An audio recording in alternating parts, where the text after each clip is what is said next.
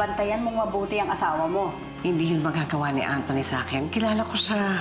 Ang nakakainis naman kasi sa mga lalaki na may, may asawa na naghahanap pa ng ibang babae. Huwag titingin yung mga mata mo kung saan-saan, ha? Sa akin lang yan, di ba?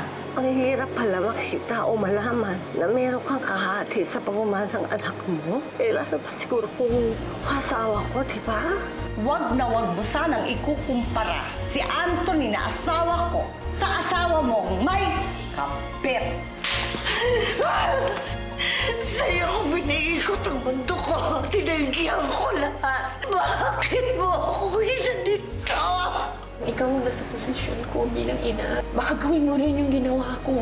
Hindi niyo naman kailangan na ipaintindi sa akin lahat ito dahil hindi naman kayong agrabyado dito. Ako. Kailangan handa mong tanggapin ang anumang parusang ibibigay sa iyo ni Milet. Pero hindi lang siya ang nasasaktan dito. hahatakin ko siya sa ilalim ng saya ng kanyang asawa. Makaganti lang tayo. Asawa ko si Eva. At habang buhay siya, responsibilidad ko siya dahil asawa ko siya. Hindi mga magulang niya. Ako yung asawa niya! Gano'n man kalalim yung mga sugat ko ngayon, alam ko maghihilom lahat ng to. Ito naman kayo ni Papa May, kaya magiging maayos ang lahat.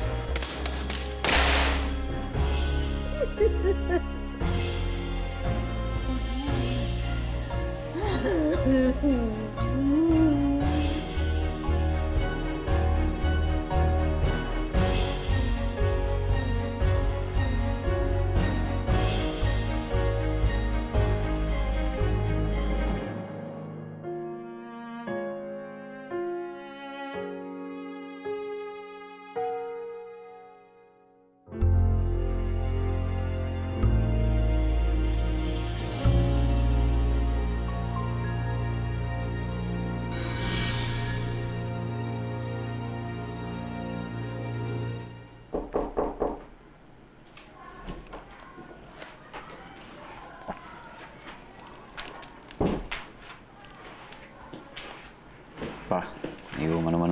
please.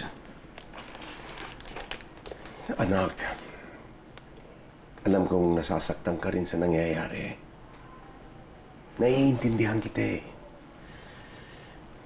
Alam kong may emotional investment ka rin kay Sheila. Nagkaanak kayo. May in an ideal world, dapat eh, yung emotional investment na yan ay inilaan mo para kay Milet at kay Tonton. Pero andyan na, nangyari na yung kay Sheila.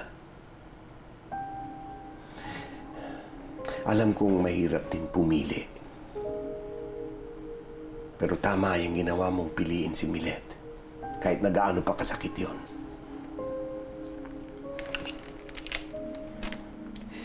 Ayun na nga eh. Ano gagawin ko ngayon ba? Hindi ko. Ginawa ko na naman yung gusto niya eh. Diba? Hiniwalayan ko na nga si Sheila para sa kanya eh. Sabay, ano, sabay tatapon niya ako rito na hindi ko alam kung bakit na pawiling na naman ako makapag-ayos sa kanya. Di ba? I mean, paano namin aayusin to kung nandito ako? Lahat naman po pwede kong gawin sa kanya eh. Gusto niya, lumod ako araw-araw sa kanya gagawin ko. Pero hindi ko magagawa na nandito ako. Anthony, ilagay mo ang sarili mo sa posisyon niya. Doon na ako pa, doon na ako. Alam ko galit siya, alam ko. Ano, hiwalay? Hiwalay kami, di ba? Alam mo ang gusto niya? Ang gusto niya ay makita kang nagsisisi ng paulit-ulit. Nang nasasaktan ng paulit-ulit. Aba, Anthony, marami ka pang galit na sasaluhin mula kay Milet. Umpisa pa lang yan. Na kung nasasaktan ka sa ginagawa niya, mas masakit para sa kanyang nangyayari. Dapat siya ang iniintindi mo eh. Alam ko pa. Pero hindi ko naman gusto gawin to dahil sa kanya eh. Nagsisisi ako. Alam ko. Kaya lang ay masyado pang maaga. Sa ngayon eh, wala pang nakikitang tama sa iyo si Milet. Naiintindihan mo yun. At sa tingin mo ba eh, gusto niya rin yung nagagalit siya ng ganyan? Okay. Ang gusto ng mama mo, eh, habulin mo ulit si Milet. Ha? Ligawan mo ulit si Milet. Bumalik ka kaagad sa kanya para magkaayos kayo. Pero alam ko, hindi ka pa handang gawin yon. Dahil nasasaktan ka rin. Walang mabuting kalalabasan ang usapan ng dalawang taong parehong may hinanakit. Kaya dito ka na lang muna. Para mahimasmasan ka. Para makapag-isip ka.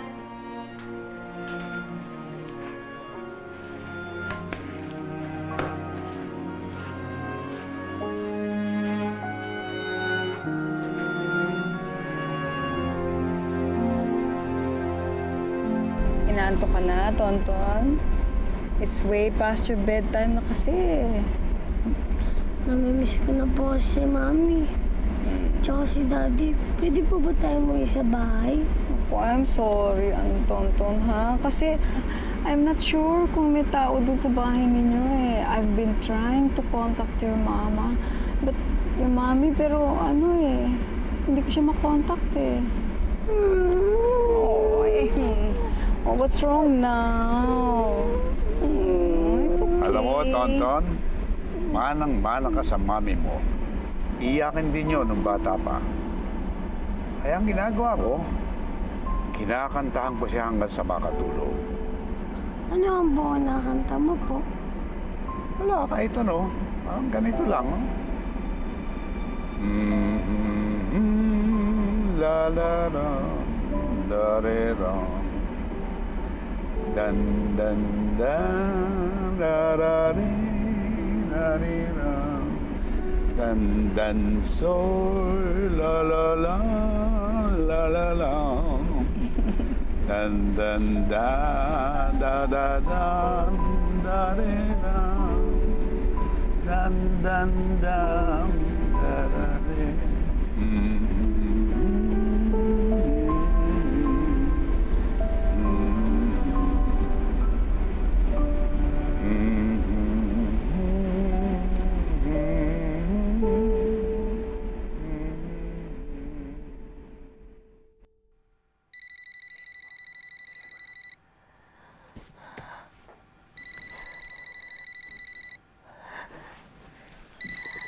Hello? Sandy? Ikaw ba yan? Oh, Sandy, sinungali ko na siya sa nanay niya, sa pamilya niya.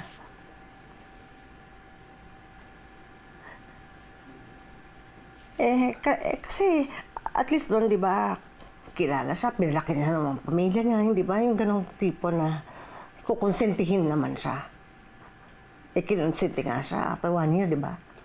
Oh, doon ko pala nalaman. Alam mo, ano eh, hindi ko siya kayang makasama sa loob ng bahay. Hindi. Gusto ko siyang patayin, Sandy. Oo. Nagkikigil ako. Hindi ko siya kaya makita, hindi ko siya kaya tignan. Alam mo ba yung pakiramdam na gano'n? Oo.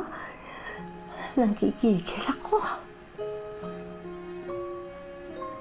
Ha? Hindi, si Ton. Ako nang bahala sa anak ko, okay? Ako, kaya ko yun. Papaliwanag ko to sa anak ko. Oo, kaya ko. Pero siya hindi ko, hindi. Hindi ko siya kayang makita dahil pakiramdam ko gusto ko siyang patayin.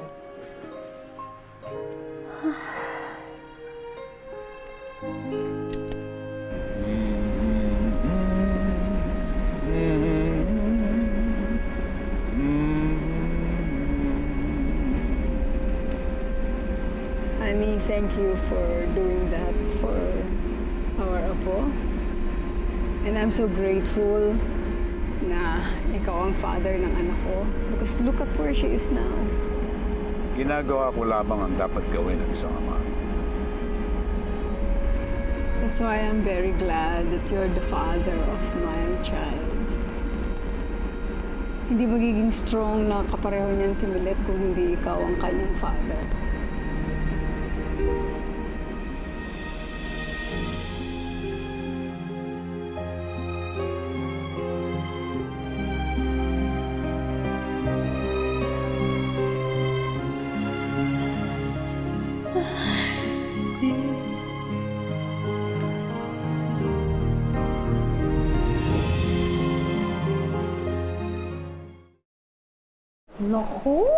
Namiss kita. Ikaw, namiss mo ba ako? Opo, Mami, na-miss po kita. Sobra-sobra po. Nasaan po si Daddy? Ah, si... Wala pa eh. Anak, di pa nakakauwi. Alam mo, ikaw ah, sabi ko sa'yo, pagbasahin lang ka, bumalik ka ng t-shirt, hindi mo ginawa. Ang ganito na, eto, di ba, yung takes mo, ipanik mo na sa taas, doon ka na magpalit ng t-shirt, di ba? Sige po. Maganda. Hmm.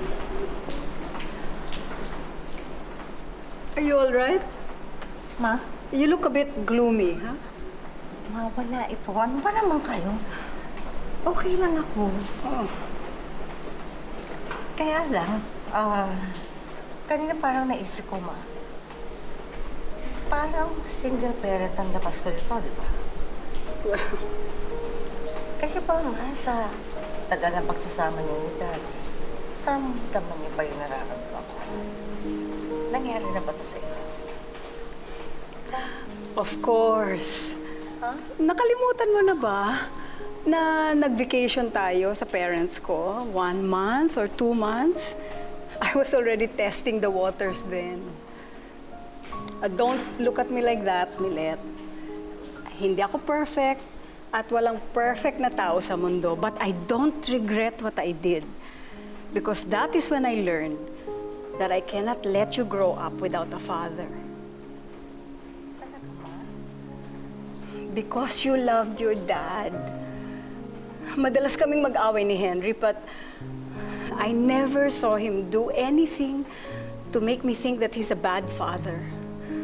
At saka yung one month na yon na palagi mo siyang hinihintay sa may pinto, waiting for your dad to come and bring us home, that was painful. Sabihin na lang natin, Milet, na in the circumstances na maghihiwalay ang mag-asawa, it's not the husband or the wife who get hurt because they do get to move on. But the children,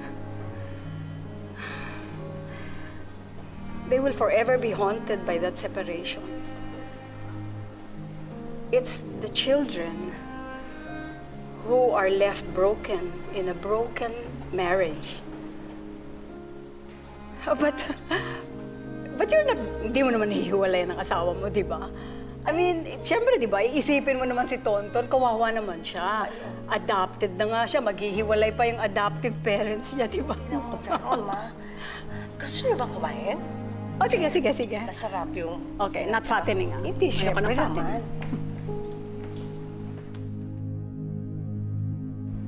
Anthony! Anthony, anak, halika na. Sumabay ka na sa amin mag-almusal. Balik ka na! Malamig na tong kape mo. Good morning! Oh. Families Israels! Ano Ay, Lele, anong ginagawa mo dito? Eh, pinasuli po ni ate ang gamit ni Kuya sa inyo. I-return sa sender ko daw. Manay, ayaw na ni ate kay Kuya. Ano, ano, teka? Ano sabi ni Milet? Pinalalayas niya si Anthony? Hindi na, hindi na babalik? Hindi ko na kasi kinuha yung details, Manay. Basta ang alam ko, hindi na siya happy. Ilagay ko na po muna to doon, ha? Excuse me. June, hindi pwede ito.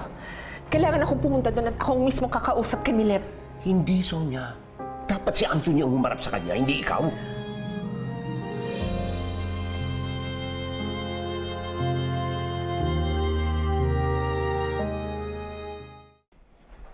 Manay, Manay, mo na na po ako. Balik Hindi, hindi, hindi. Ah, o- huwag ka muna umalis. Hintayin mo si Anthony ha, nagbibihis lang. Sasama siya, babalik na siya sa bahay niyo. Ha? Manay, ano ba ba talagang kasalanan ni Kuya kay ate? Bakit ayaw na? Para kasing may kabit si Kuya. Ay, sos. Ay, sos, may kabit si Kuya. O, ayaw, kapal na mukha ni Kuya. Tapos bumalik sa baloy. Ay, naku, dili. Oy. Len-Len? Pwede wag ka namang gato? Ha? Ang dami-dami ng problema. Hindi ba matagal ka na sa kanila? Oh, ayaw mo ba na nagkakasundo sila? Na buong pamilya nila? Kawawa naman si Tonton. Siyempre, Manay, ang gusto natin, a family that stays together. Di ba la? Kaya nga, mas mabuti, ipagdasal mo na lang sila na mabuo ang pamilya nila, na hindi na sila mag-aaway para sa ganon, hindi na madagdagan pa yung mga tao sa mundo na mga naghihiwalay-hiwalay. Dami-dami ng hiwalay, di ba? Kawawa naman si Tonton. Kaya pwede, pwede. Correct ka naman doon, Manay eh. Sana lang tanggapin siya ulit ni atin. Ano ba?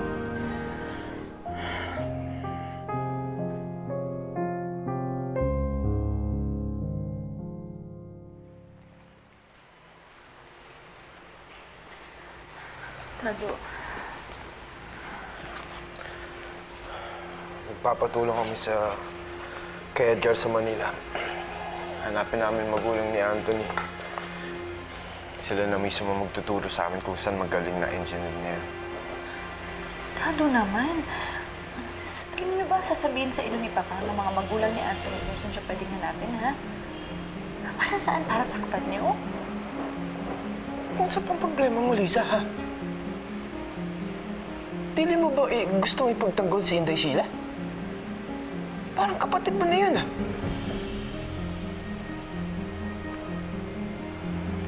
Huwag mo sasabihin kay Sheila na luluwas kami ni Papang sa Maynila.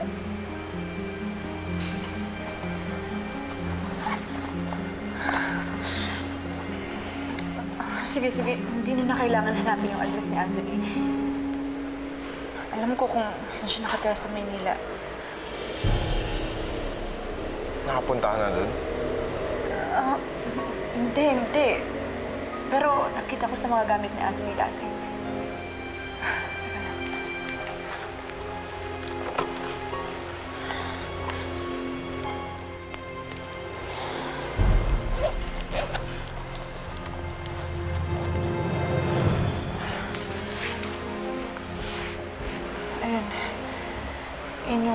Address niya sa Maynila.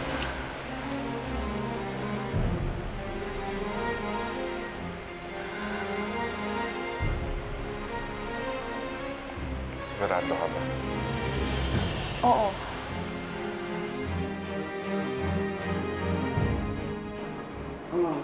Tapos? Tapos po, ano, dinala po ako ni Lola Aurora sa mall.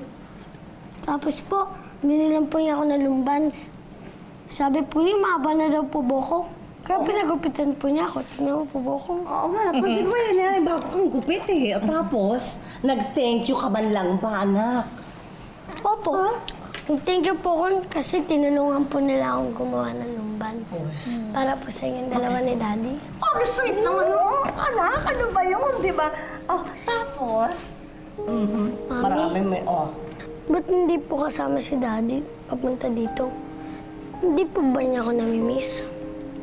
Ito naman batang to. Siyempre, namimiss ka namin, di ba? Alam mo naman, ikaw lang ang one and only ko. Alam mo yan, di ba? Ah, bakit? Hindi pa ba ako? Parang kulang ba ako? Kung walang daddy, kulang ha? Hindi naman po. Pero, Pero, ano, gusto mo, dalawa, di ba? Kasi dalawa yung ginawa mo, yung halatang halata ka, ha? Nagtatago ka pa. Gusto mo, kaming dalawa palagi. Hindi ba pwedeng kunyari lang to, ha? At paano kung ang daddy mo, ah, dahil sa trabaho, mawawala na medyo matagal. Kunyari, mga one month, hindi siya makakauwi. Oh, pwede ba yon? ayoko po. Gusto ko po kayong dalawa ni Daddy. Oh, tinan mo. Hindi ako po, promise nyo, hindi po kayo mawawala. Ah, mag-juice ka. Eto na, dinala ko na ako bago mawanan, oh. Di ba? Tapos, ako, hindi pwede. Kulang pa ako, hindi pa ako sapat.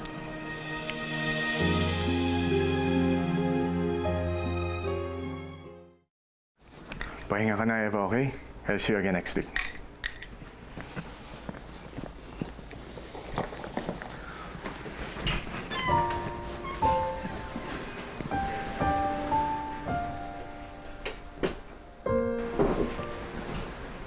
Doc Rudy, so uh, may pag-asa ba si Eva mukha naman? Nag-improve siya, no? So, na kailan kaya siya babangon? Mr. Dumlao, minumonitor ko ang health ni Eva. But if you're expecting something I'm sorry, pero irreversible ang brain damage. Hindi na magbabagong kondisyon ni Eva. Dok, nag-improve naman. Hindi naman masamang umasa, di ba? Ah, I'll see you next week. Okay. Okay. Salamat, Dok.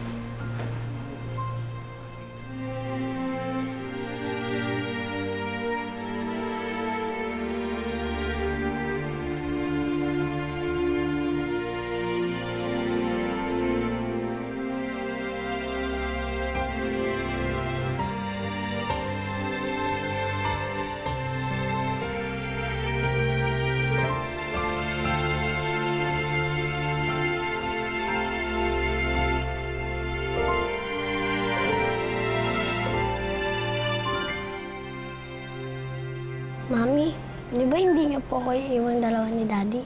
Kaya happy family po tayo.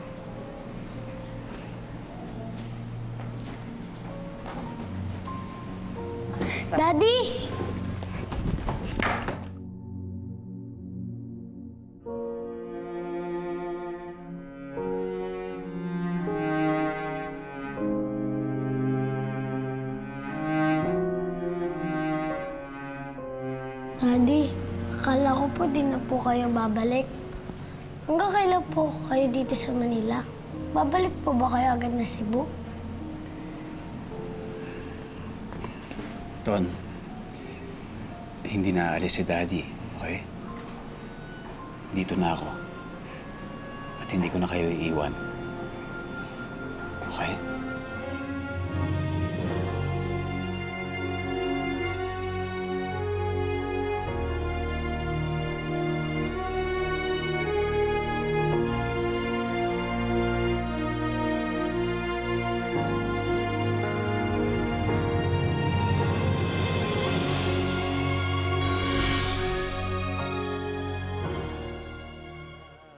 Hindi ko pwedeng dalhin si Bubo dito hanggang sa paglaki niya eh. Paano pag narinig niya yung mga kwento tungkol sa akin? Hindi ko naman siguro kakayanin yun. Milet, ayusin natin to, please. Gusto kong bumawi sa'yo. Maraming magiging kapalit ang pagpayag ko sa pagtira mo dito. Hindi ako matahimik yun nang hindi ko nalalaman na okay sila. Kaya sasaglit lang ako doon. Paalala ko lang sa'yo, galit din sa atin si Milet. Una sa lahat, huwag mo akong tatawagin, May. Pangalawa, hindi ka pwedeng umalis nga pala ng bahay. Pangatlo, hindi ka na pwedeng pumunta ng Cebu. Ma, sino ba kailangan mo magpataha sa'yo yung papa mo? Wala na yung papa mo dito, kaya please lang, tumigil ka na. Kaya ka nandito para kay Tonton. Para magkaroon siya ng ama. Yun lang. Pakalat-kalat na naman ang kabit. Pwede ba? Huwag na huwag mo nang gagamitin ng salitang yun. Sa mapakinggan eh. Daddy, ka po malungkot? Akin ang kasalanan ko sa inyo ng mami mo. Kahit ano pa po yun, Daddy. I will always forgive you po. Basta po, huwag ka lang po malungkot.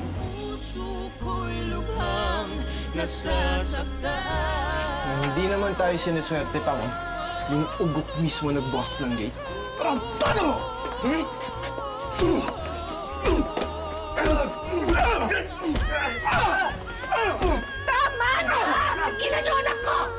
Pagkatapos ng mamo ko, iiwan ang aking anak sa gitna ng kahihiyan. Matagal nang nabubuhay sa kahihiyan ng anak mo. Ginawa niyang kabit ang sarili niya. Matagal na niyang alam na may tunay na asawa ang anak ko. Ikaw ako at siya.